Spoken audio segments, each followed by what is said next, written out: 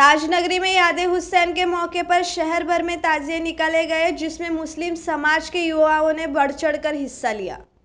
याद हुसैन के मुहर्रम पर गम के साथ ताजिए जुलूस निकाला गया, जिसमें कई तरह के ताजिए करबला सुपुर्द खाक किए गए।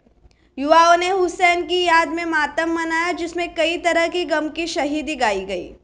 आपको बता दें कि आगरा में 10 तारीख को शहर में हुसैन साहब की याद में लोगों ने मातम मनाया। जगह जगह अखाड़े बनाकर अपनी कला का प्रदर्शन किया। वही लोगों ने ताजिए के साथ हाथों में तिरंगा लेकर हिंदुस्तान जिंदाबाद के नारे भी लगाए। वही लोगों ने करबला में चैन अमन की दुआएँ भी मांगी। पुलिस प्रशासन ने यातायात व्यवस्थाओं को दुरुस्त कर शांति तरीके से मुहर्रम का त्यौहार संपन्न किया। नाम आज दस तारीख है अपने नवीदा हुसैन का मामला है। दीन तो चमकाने वाले हैं, दीन तो आगे बढ़ाने वाले हैं। आज शहीद हो गए थे आज के दिन। और ये इस्लाम पूरी दुनिया में फैलता है। और ये इस्लाम का बहुत सच्चे आदमी थे, दीन के पीछे लड़े ये। और आज ये हिंदू, मुसलमान सब एक मोहब्बत से त्यौहार मनाता है। ये हमारे हिंदुस्तान का मामला है।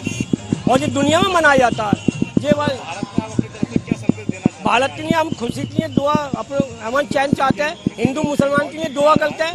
खुश रहे हम, भाईचारा रहे, बने रहे। मोहब्बत बनी रहे। और ये दुआ ईद भी आती है बता ईद भी आती है लसन बंधन भी आता है ये अब गणपति भी आ गई सब मिलते मनाते हैं सब सब साल हिंदुस्तान में हिंदुस्तानी हम भाई। आज मोहरम को ताजिए को लेकर के पुलिस की कितनी व्यवस्था सुरक्षा आपकी तरफ़ से लागू की आज मुहर्रम के त्यौहार को लेकर जिला प्रशासन द्वारा पुलिस अधिकारी समस्त मजिस्ट्रेट्स नगर निगम सिविल डिफेंस सभी विभाग लगे हुए हैं और लगातार हम लोग भ्रमणशील हैं।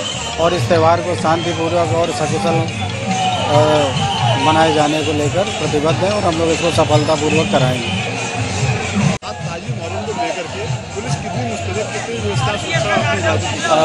गत वर्षों की भांति इस वर्ष भी मुस्लिम समुदाय द्वारा मुहर्रम का जुलूस निकाला जा रहा है ताजिए की यात्रा निकाली जा रही है।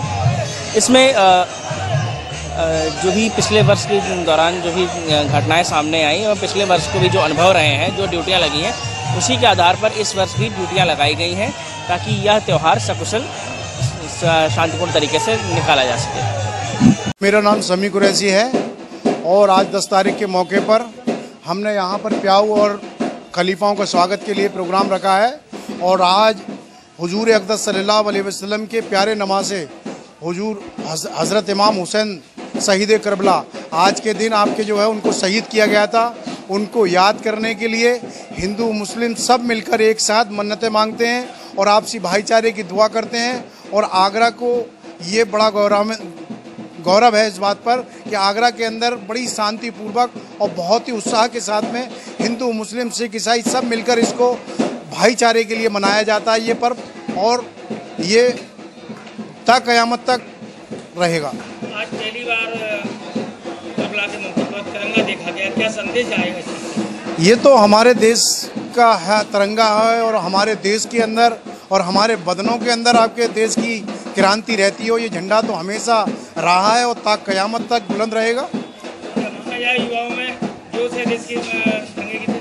जी बिल्कुल तिरंगे के लिए तो हर युवाओं में जोश होना भी चाहिए और मुस्लिम समाज में ख़ास तौर से देखा जाता है। देश के लिए जहाँ भी मुसलमानों की ज़रूरत पड़ी है, मुसलमान कभी पीछे नहीं हटाए देश की कुर्बानी के लिए। देश के लिए, हम मर मिटने के लिए हमेशा तैयार रहते हैं।